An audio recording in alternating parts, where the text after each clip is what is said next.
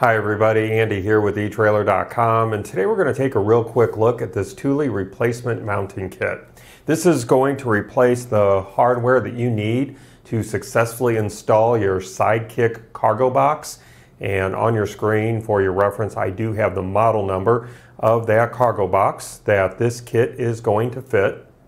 And this kit includes everything that you see here on my table before me. You're going to get four U-bolts, eight knobs, four backing plates, the vinyl stripping, the circles, two locks, two keys, and the lock mounting brackets, and then all of the mounting screws, screw covers, washers, and nuts that you are going to need to successfully install your Sidekick cargo box.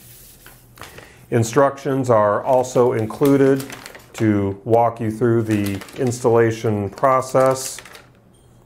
And this is a direct replacement from Thule. So what that means for you is uh, you're not going to have to worry about compatibility issues, fitment issues, or um, anything like that. This is going to be the hardware that you need if you're looking for replacement hardware for your Sidekick cargo box.